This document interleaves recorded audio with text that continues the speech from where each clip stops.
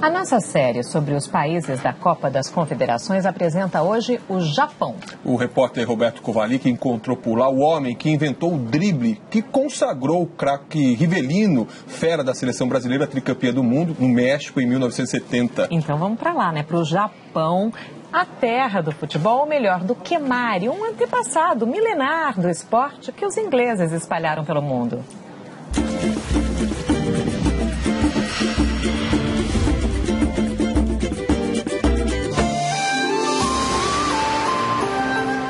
É no meio das montanhas japonesas que fica o verdadeiro templo do futebol. E se fosse um estádio, daria para dizer que as arquibancadas ficam lotadas. Os fiéis buscam o melhor lugar para assistir à mistura de esporte e fé.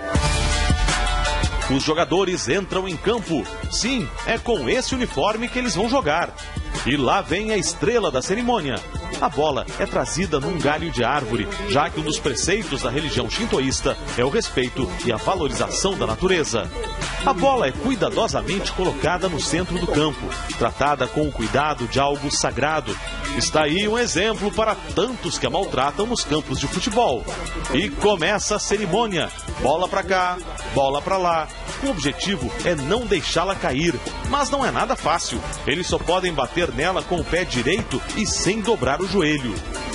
No Kemari, não há lugar para o jogo bruto, a jogada violenta. É preciso agradar ao público, que para os jogadores não é formado apenas por homens ou mulheres, mas principalmente por deuses. Por isso, o que importa aqui é a precisão dos movimentos, a beleza do espetáculo.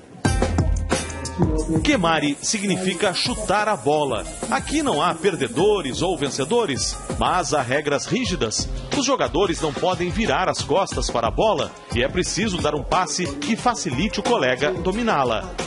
O Kemari surgiu na China, mas não vingou por lá. Chegou ao Japão há 1400 anos e passou a ser praticado nos templos shintoístas.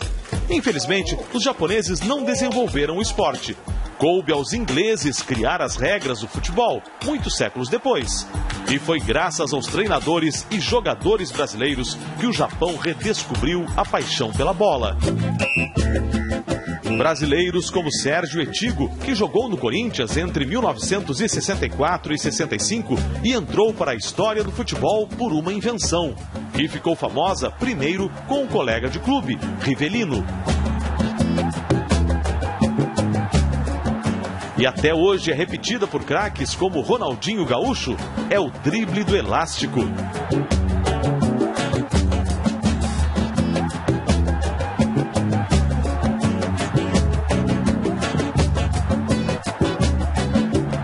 Na minha época, o meu ídolo era Garrincha e Pelé, né? O Garrincha, ele, ele tinha um drible que só saía por lado direito, mas ninguém conseguia tirar a bola dele. E o Pelé tinha vários tipos de drible, tinha o chapéu e ele tinha um drible que ele cortava para dentro. Né? Aí eu brincando, eu falei, ó, fazer Garrincha e Pelé, joga o Garrincha para fora e toca para cá pro Pelé. Sérgio foi o professor de futebol de gerações de japoneses e se tornou um dos mais respeitados comentaristas de futebol daqui.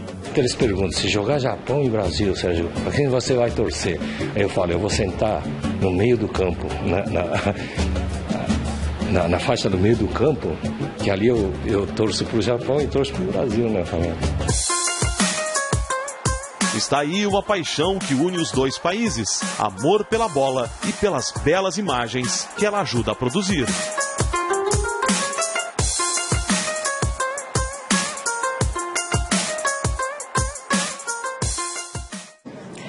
Essa é uma decisão difícil, né? País de imigrantes que é o Brasil, para quem que essas pessoas vão torcer, né? Para o seu país de origem, para o Brasil, enfim, é uma divisão interna e tanto. E amanhã você vai conhecer o Tahiti, outro país da Copa das Confederações. O Tahiti será mostrado no nosso quadro, tô de folga. Um cenário paradisíaco no meio do Pacífico. Já imaginou uma lua de mel com esse marzão? Ideal para um romance e para quem gosta de aventura. E a uma hora de avião do Tahiti. Olha só como é que a gente sai do aeroporto aqui de Bora Bora. É amanhã no Tô de Folga. Não perca.